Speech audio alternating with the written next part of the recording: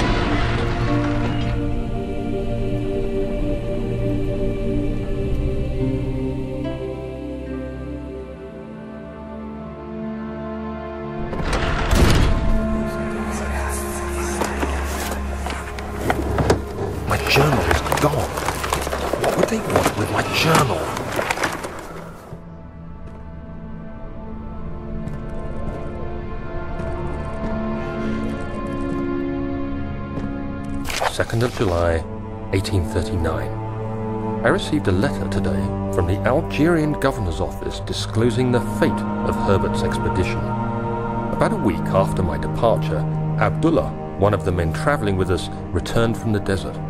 He was badly injured, as if maimed by a lion. The man rambled deliriously about the expedition being attacked by something horrible. The French quickly dispatched a search party to look for the expedition. After searching for days, they found the camp abandoned without any trace of Herbert or his men. Tomorrow, I'll retrieve the things they recovered from Herbert's tent at the customs house.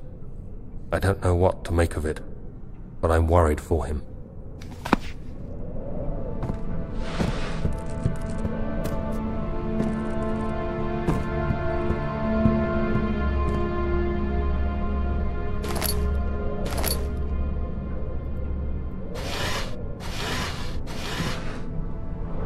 Third of July, 1839. Today I picked up Herbert's things at the customs house. I dug through the trove of documents he had carried and found a log detailing the expedition. The nature of this text ranged from quick notes to colourful accounts of transpired events. I skimmed the pages trying to figure out what might have happened. May 17th, the day I was trapped inside the orb chamber, Herbert dryly states, recovered Daniel after one hour of entrapment. This confused me greatly. I was suffocating within minutes. How could I have lasted an hour? I continued reading the peculiar text. Herbert states his facts without judgment or passion, but suddenly I could read frustration into his text. He pushed his men to investigate the underground tomb, an effort which seems to have strained the minds of his men. Madness spread through the ranks, and Herbert had to take some extreme measures to continue. He finally visits the chamber himself, where he retrieves the orb to the surface. His account confuses me greatly. If he has the orb, what are those pieces in my drawing room?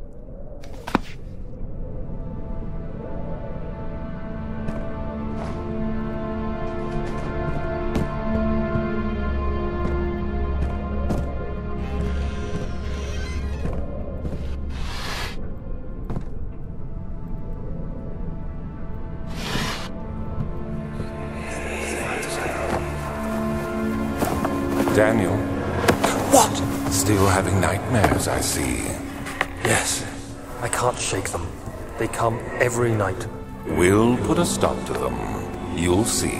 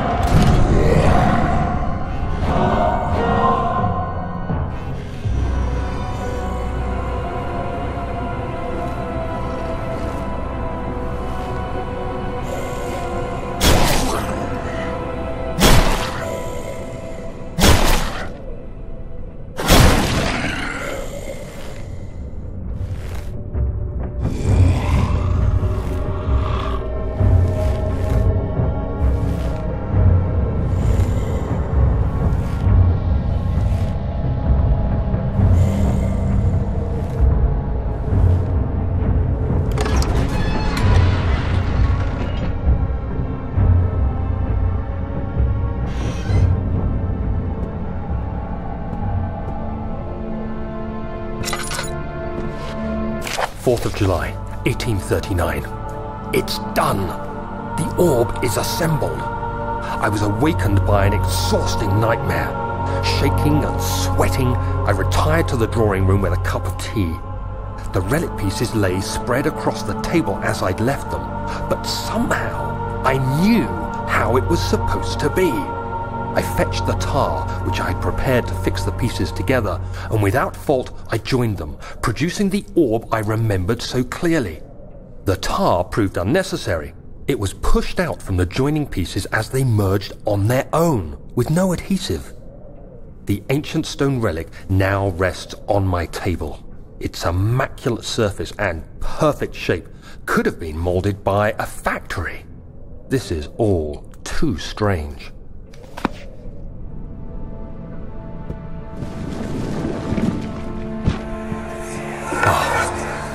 There it is. I guess it is a good place to hide it then.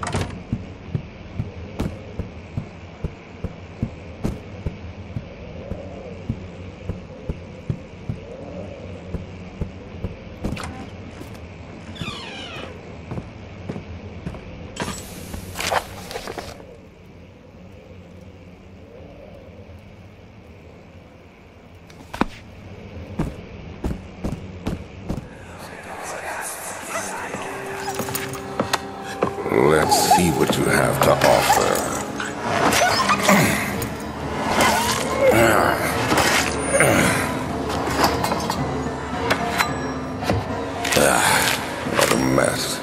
I should have sharpened the saw. But I can sense it. It's definitely there.